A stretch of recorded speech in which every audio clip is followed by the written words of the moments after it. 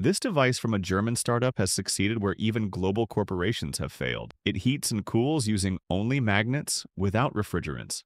It's 30 to 50% cheaper and more efficient than heat pumps, air conditioners, or refrigerators. Invented by researchers at the Technical University of Darmstadt, it was developed almost like a garage project, without billions in funding. But how exactly can magnets influence temperature? And why is it more efficient than even the best heat pumps or AC systems? The answer lies in one of physics' most important, but least understood, phenomena, entropy. The concept of entropy was developed in 1865 by physicist Rudolf Clausius. Out of necessity, he was trying to understand how heat behaves in machines, and how it could be efficiently used in engines, similar to Sadi Carnot, the father of thermodynamics. But Clausius made a disturbing discovery. Heat can perform work, yes, but not perfectly. A certain amount of energy always seemed to disappear. This seemed to contradict the newly established law of energy conservation. Clausius concluded that the energy wasn't lost, just no longer measurable or usable. He proposed that energy could be stored in the order of atoms.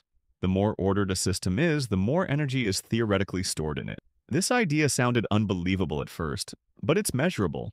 For example, when producing one cubic centimeter of neodymium magnet, there's an energy gap of around 0.013 watt-hours that isn't released as heat, light, or motion. That energy is stored in the magnet's internal atomic order, its low entropy state. This connection between order and energy is also why magnets are the key to highly efficient thermal systems.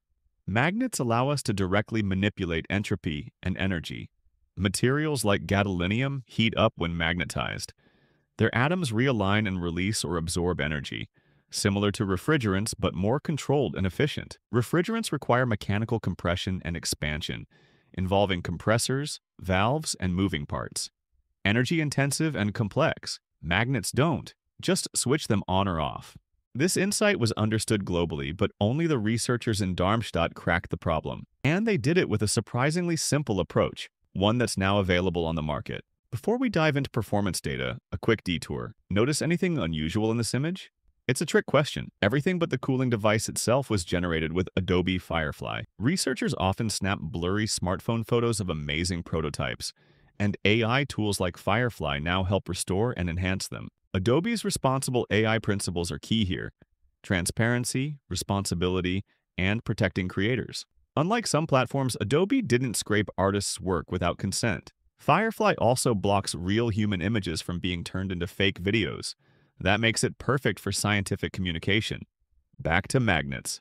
The German startup Magnotherm has only 40 employees but is now a world leader in magnetic cooling. Founded in 2019, the company was spun out of TU Darmstadt with a mission to commercialize the magnetocaloric effect, the use of magnets in cooling systems, and they've succeeded.